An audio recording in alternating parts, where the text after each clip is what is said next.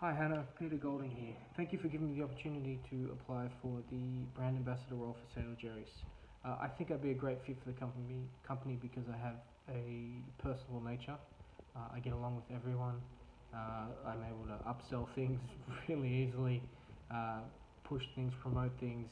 You name it, I'll sell it.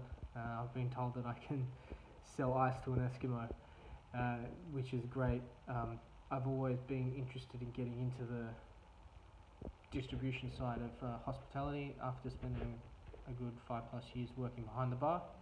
Um, I think one of my key attributes is being able to give someone an experience for, with something that they haven't tried before. I love pushing it. I love giving people the opportunity. Uh, and Sailor Jerry's is one of those brands that I, I think is underrated.